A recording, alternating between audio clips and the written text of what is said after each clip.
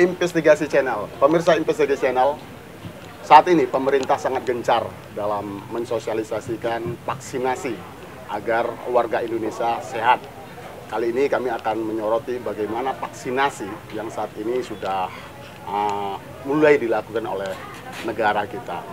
Kali ini kami akan mencoba mengulas tentang vaksinasi, apa sih dampak dan uh, efek untuk kekebalan tubuh. Kali ini kami akan khusus dari masyarakat Sumatera Barat dan khususnya Kota Padang.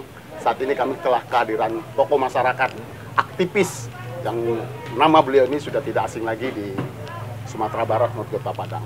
Saat ini beliau adalah ingin memberikan sosialisasi bahwasannya vaksinasi itu penting dan perlu bagi masyarakat Kota Padang.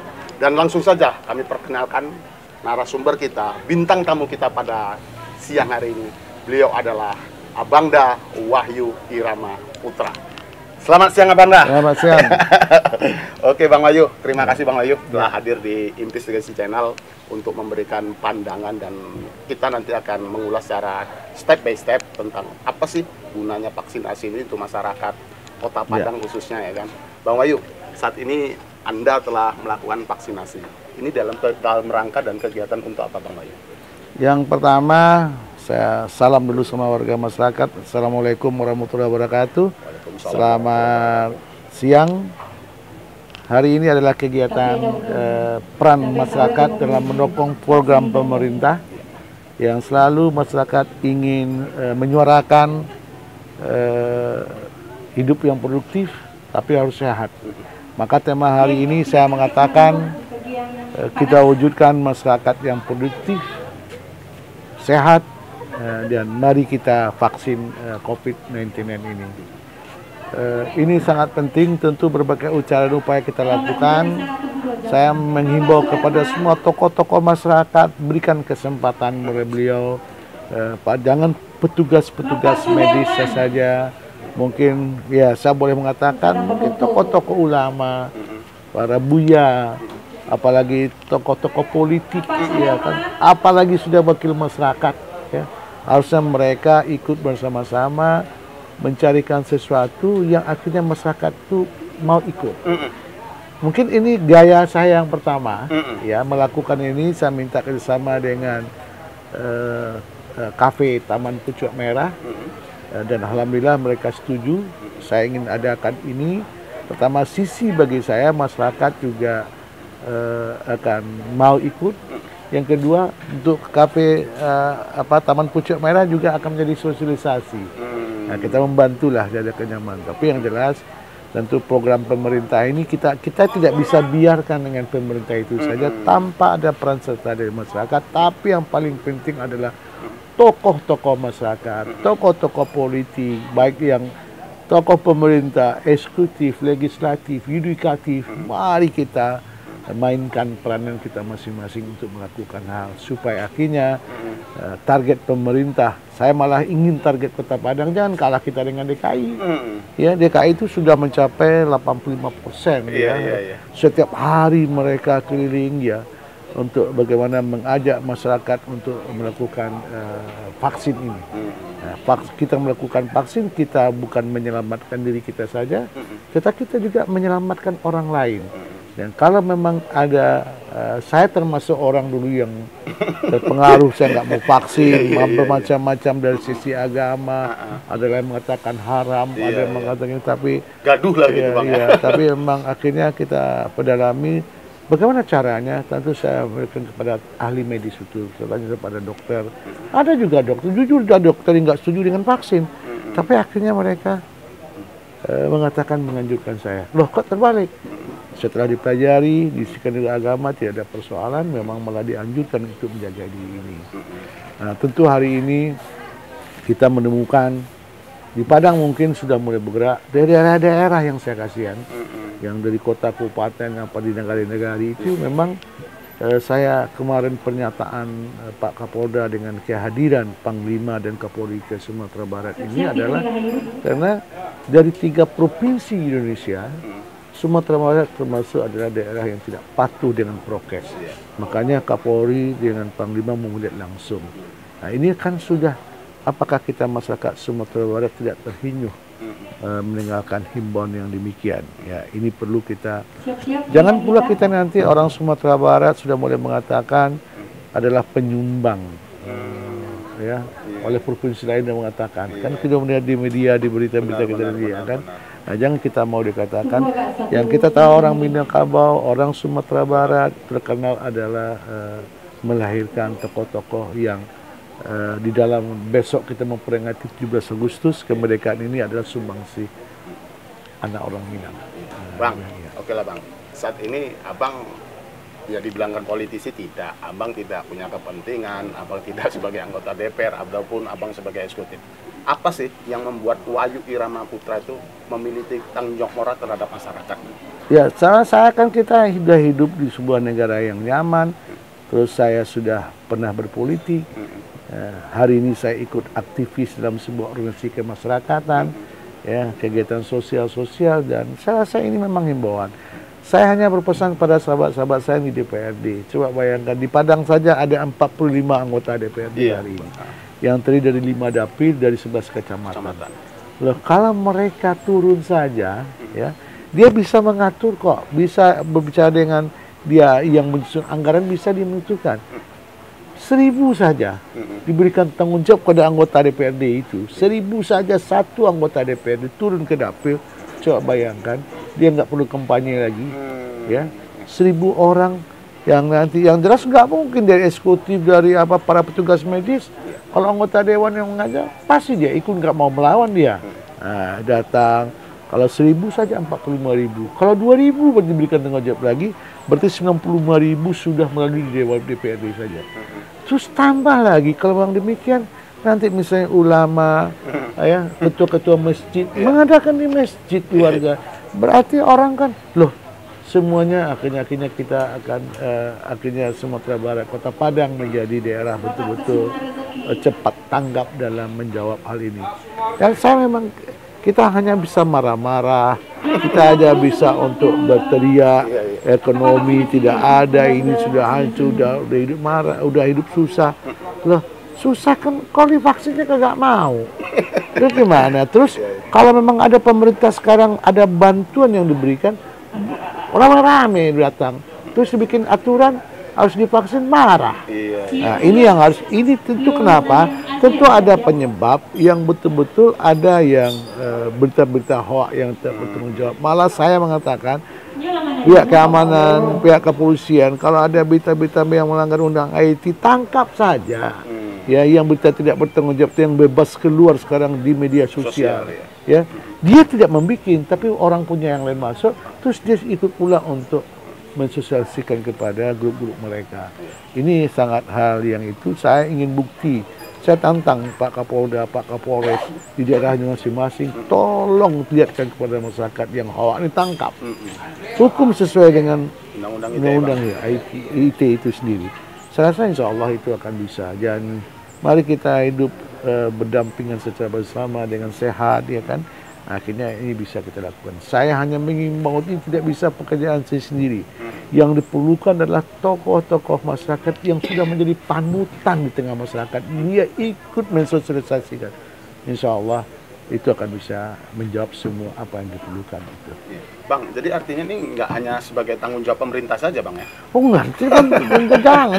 Iya, iya, iya. Lah, hanya kita bebankan sama pemerintah, Bang. Oh, itu memang pemerintah. Jadi pemerintah juga demikian. Iya. Pemerintah cepat tanggap juga. Kalau ada masyarakat yang mau demikian, tolong diperhatikan juga. Mm -hmm. Ini karena ada eksekutif ini kadang-kadang juga mm -hmm. pemerintah kan udah ada yang mau malah didiamkan, mm -hmm. dipersulit. Nah, saya maunya demikian Ya, ini kalau ada memang untuk kota Padang, wali kota, kalau memang ada laporan yang ini eh petugasin sana menghambat, wali kota cepat tanggap untuk untuk merespon dari masyarakat. Jadi sekarang ya saya kenapa? Ini kan aneh hari ini, kalau nggak ada vaksin di tempat hiburan, ada yang karaoke, ada segala macam, suasananya kita bawa untuk happy bang. Uh, happy aja jadi ini, ini saya juga terima kasih masyarakat juga. Sayang karena dibatasi saja. Iya, iya, bang. karena memang kemampuan hanya 120 20 untuk uh, vaksin yang pertama. Dan vaksin kedua juga terbatas juga yang mengikuti kegiatan pada hari ini. Bang Ah, artinya bang saat ini kan masyarakat juga boleh dikatakan masih apa bang masih takut lah kalau divaksin takut yang inilah takut ini. Ah, bang tolong bang abang luruskan bang.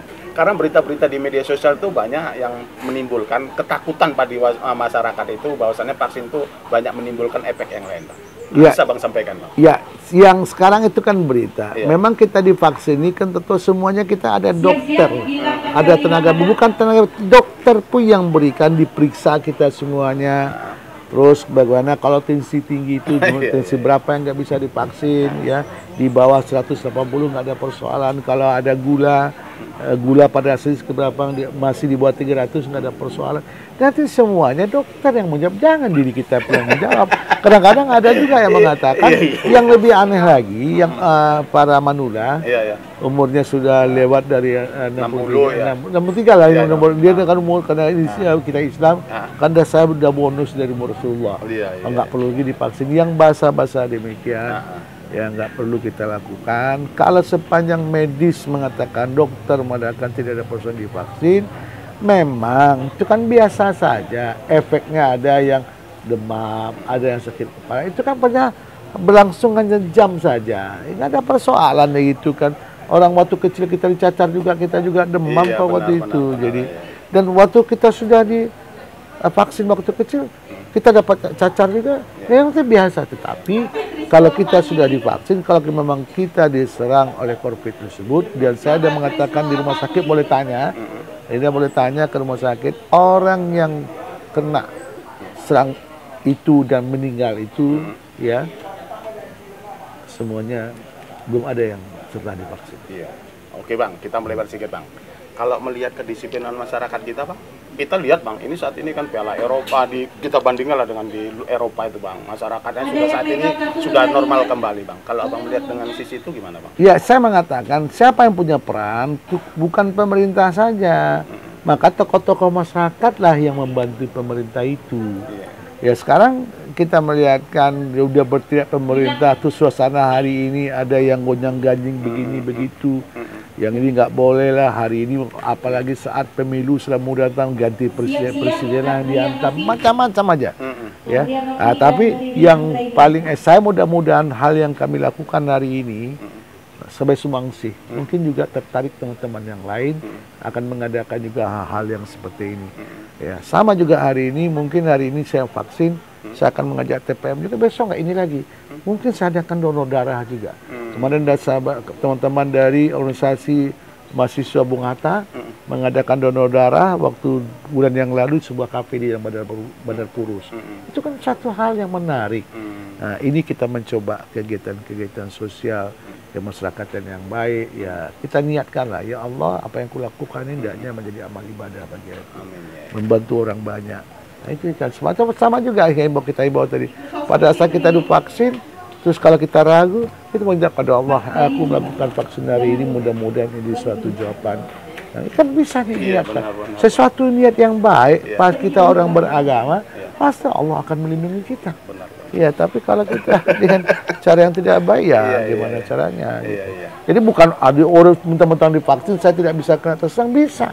Tetapi pada saat serangan itu ada yang sudah ada yang uh, membentengi kita supaya tidak ada penyerangan yang dua hari meninggal, tiga hari meninggal Iya, itu demikian. Itu yang Artinya bang, dengan vaksinasi ini bang, apakah ini salah satu solusi bang yang sudah dilakukan oleh Bang Wayu untuk ya istilahnya peran serta Bang Wayu lah untuk membantu masyarakat? saya Bang? tentu saya berpikir dengan cara saya kenyataan saya umumkan alhamdulillah responnya sangat luar biasa dan ini ya tetapi memang saya menghimbau sosialisasi saya minta kepada tokoh-tokoh agama tidak cukup dengan dengan pemerintah tapi sinergitas suatu daerah itu maju kalau hubungan baik komunikasi yang baik antar semua pihak Hmm. Pemerintah kalaupun berapapun hebatnya tidak ada komunikasi yang baik dengan rakyat juga tidak akan baik. Ah, tapi kalau sama-sama, betul. kalau rakyat kan satu aja kalau mengatakan kepada pemerintah, udahlah kau makanlah uang itu.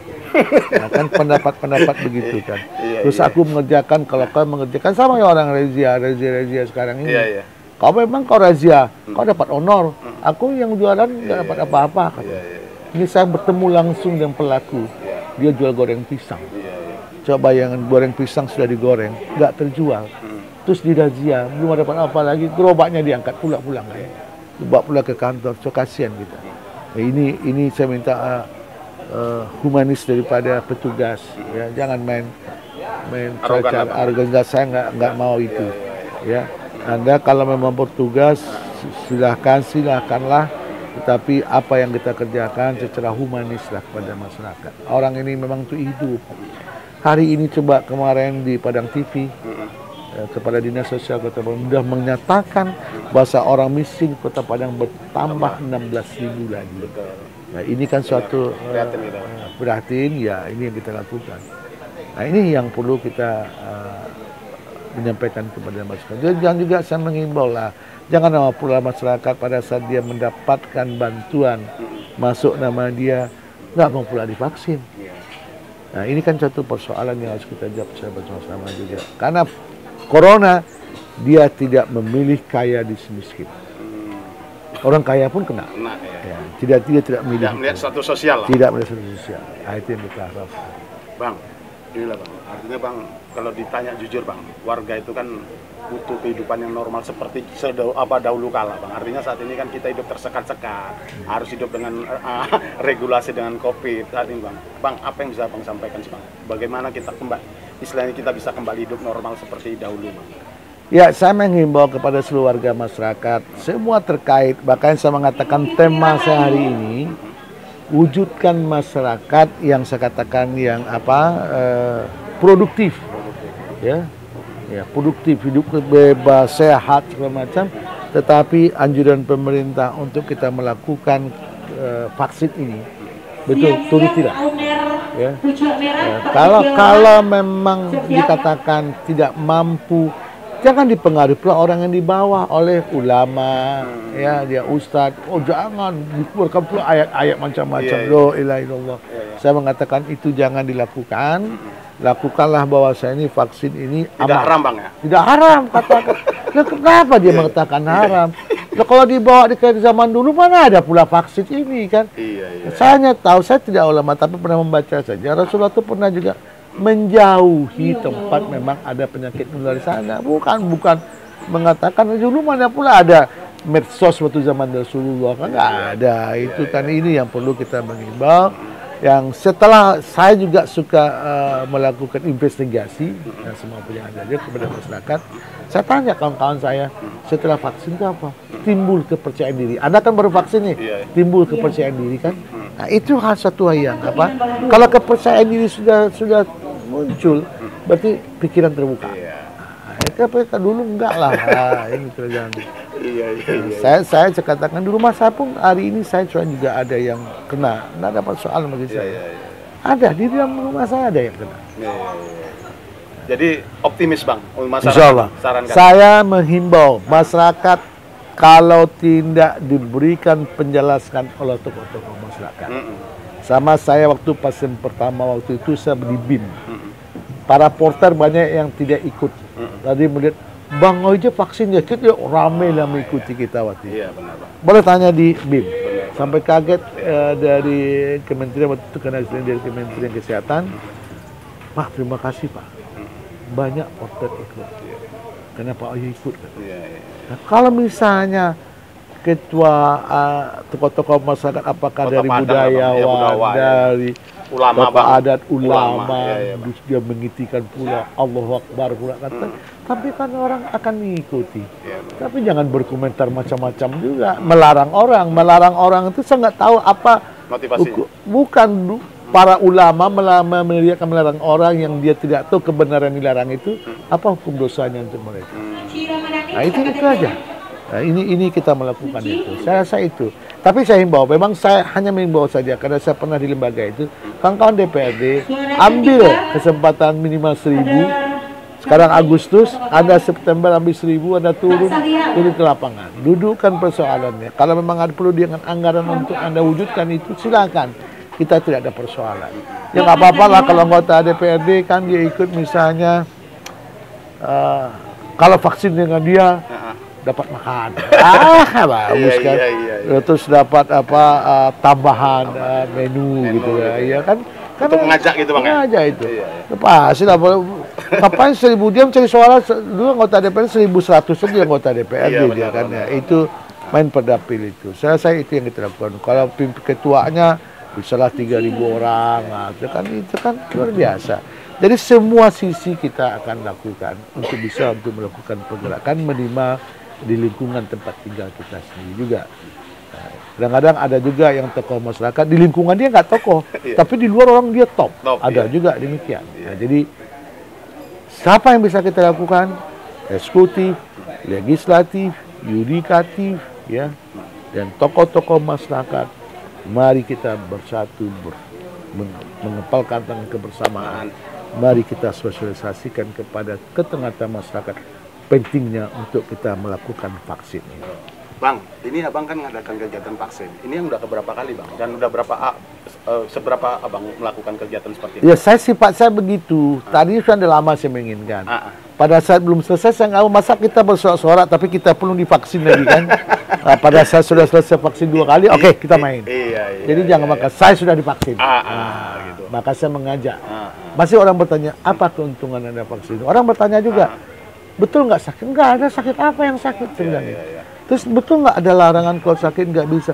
Ini Nanti yang menjelaskan jangan anda yang menjelaskan, dokter yang menjelaskan. Iya, iya, iya. Nah, alergi makan obat karena anda alergi makan udang, Ah. terus nggak bisa boleh divaksin. Iya. Bukan yang alergi itu makan obat yang nggak boleh kan itu dokter medis yang menjawab, Iya, jangan iya. pribadi.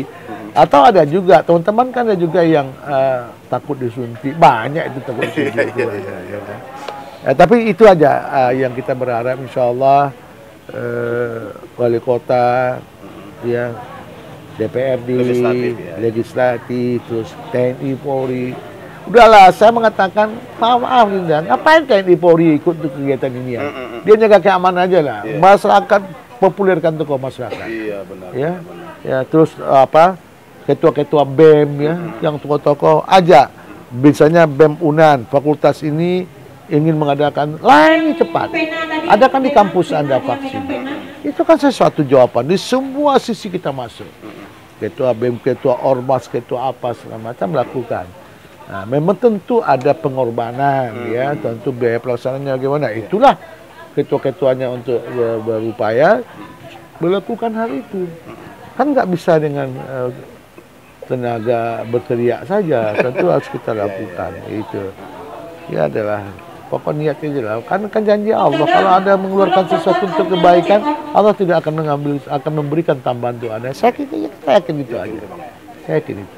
Oke bang, closing statement lah bang. Apa yang abang bisa sampaikan pada masyarakat warga Kota Padang bahwasannya vaksinasi itu penting di saat kita eh, saat ini di pandemi COVID-19.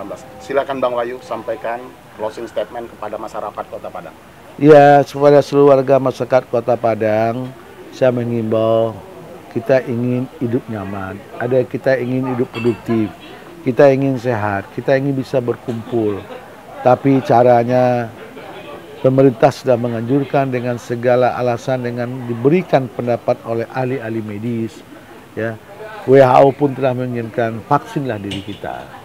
Ya sementara tentu hari ini jangan anda vaksin karena terpaksa karena anda mau berangkat ke Jakarta karena mau naik pesawat ya. Nggak usah begitu. Yakinlah pada masyarakat semuanya divaksin tentu tidak dibayar ya. Malah gratis ya.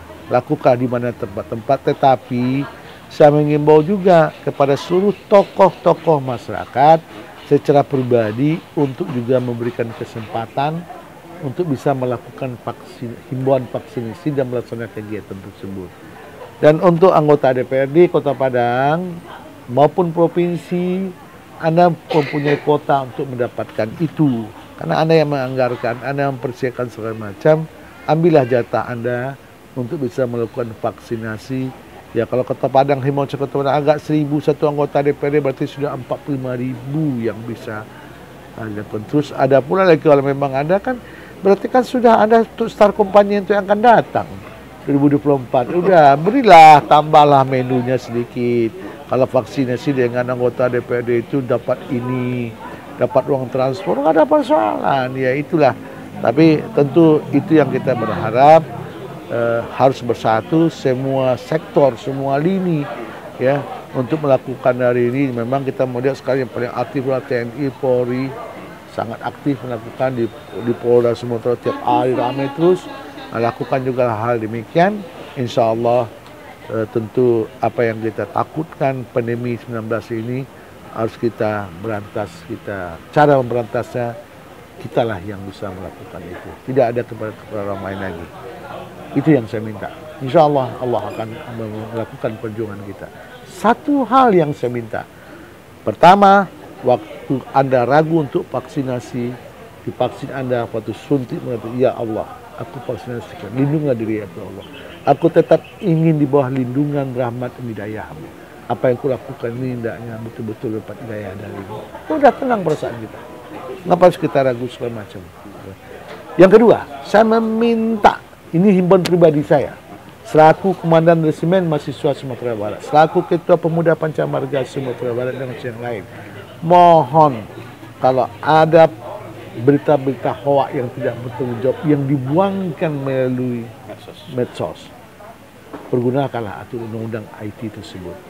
Dan saya inginkan kalau ada itu terjadi, tolong selesaikan biar ada rasa ketakutan. Saya tahu bukan dia yang membuat, tapi dia dapat dan terus dikirimkan pula berita itu kepada yang lain dan dibaca oleh masyarakat yang tentang pengetahuannya juga kurang tentu akan bisa menimbulkan keresahan akhirnya programnya jalan. Selesai itu aja yang menjadi hal ini dengan saya mengatakan semuanya dengan Bismillahirrahmanirrahim mari kita bersama-sama melakukan vaksinasi ini kepada tengah masyarakat.